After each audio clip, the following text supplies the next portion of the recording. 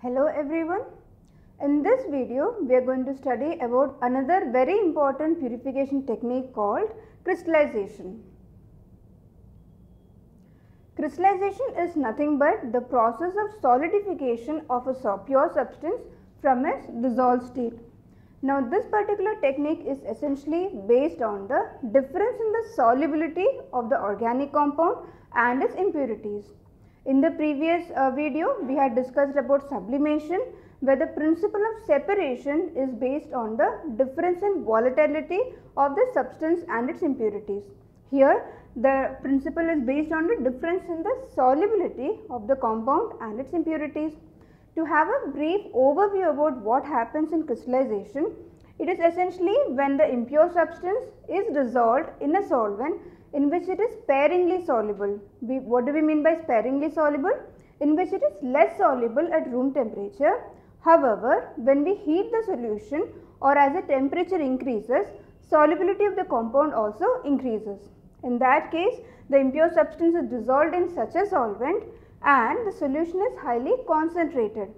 So, what do we do is we essentially saturate the solution or we increase the concentration to the maximum possible and then heat the solution followed by cooling it. So, on cooling pure compound crystallizes out and the impurities are left behind which can be separated by filtration. So, this is an overview of what happens in crystallization and the process of crystallization can be essentially broken down into four major steps. The first step is to identify an appropriate or suitable solvent. The suitable solvent should be such that it is chemically inert or chemically unreactive with other compounds and the solvent should either not dissolve the impurities such that the insoluble impurities can be easily removed by filtration or the solubility of impurities should be very high or much more than the solubility of the pure compound of interest. So, what happens in this latter case? In the latter case, the impurities will be left in the liquid state even after it is heated and cooled and only the pure compound crystallizes out while the impurities are still left in the solvent because of its very high solubility. Now, uh, most commonly used solvents are chloroform and ether. To take a quick example, we can see that ethanol can be used to purify sugar from common salt which is a common impurity. Now, common salt is insoluble in ethanol and sugar is only sparingly soluble in ethanol at room temperature. So, when this mixture is heated, sugar, uh, the solubility of sugar increases in ethanol and when the solution is cooled again, common salt can be easily removed by filtration because it is insoluble and sugar can be uh, uh, separated as it crystallizes out from the ethanol solvent. Now, the second step is essentially after identifying the solvent is to prepare the solution.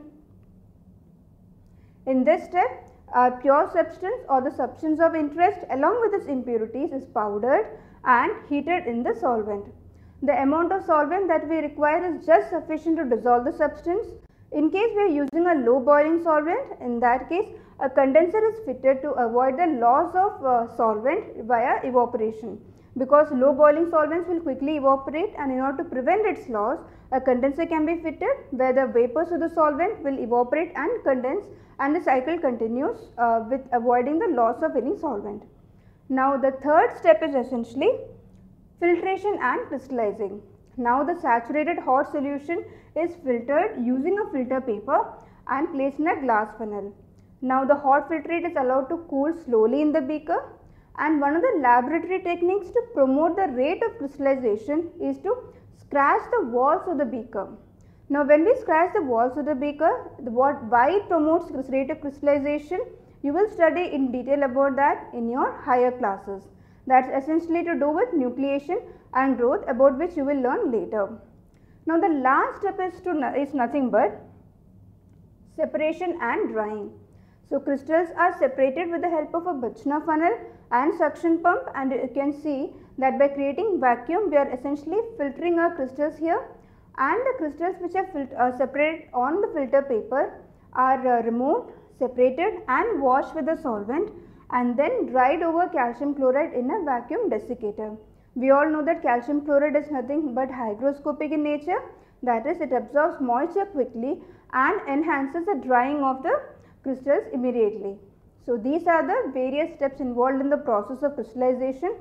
I hope you are very clear on what is crystallization and what is the basic principle on which crystallization is used as a purification technique. Thank you.